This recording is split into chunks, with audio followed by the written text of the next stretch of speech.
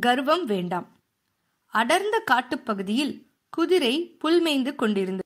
அங்கு உள்ள பொந்து ஒன்றில் எலி ஒன்று வசித்து வந்தது. இரண்டும் பேசி பழகின. சிறந்த நண்பர்களானார்கள்.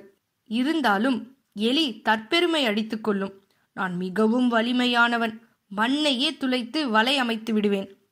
என்னை யாராலும் ஒன்றும் செய்ய முடியாது. பாம்பை கூட விரட்டி அடித்து விடுவேன் என்று வீண் பெருமை பேசும்.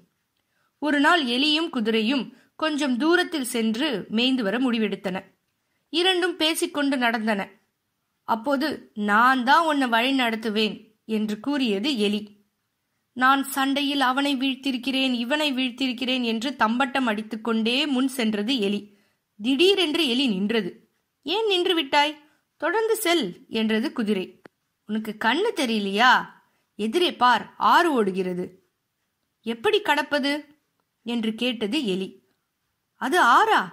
சிறிய கால்வாய் தானே இது? எளிதாக கடந்து விடலாம் என்றது குதிரை. குதிரையே இது கால்வாயா?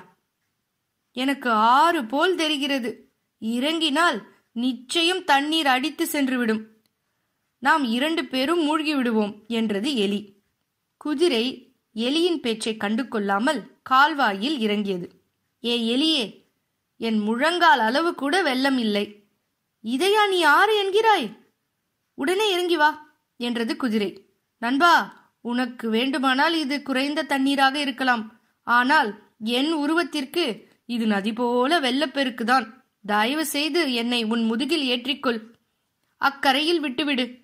நான் என்னை பற்றி கர்வத்துடன் பேசியதை மறந்துவிடு என்று மன்னிப்பு கேட்டு அடங்கியது எலி. அப்படி வா வழிக்கு. இனியும் வீண் பெருமை பேசி வாழாதே என்று எலியை தன் முதுகில் ஏற்றி அக்கரையில் விட்டது குதிரை. இரண்டும் கர்வமின்றி நண்பர்களாக வாழ்ந்தன. நன்றி வணக்கம்.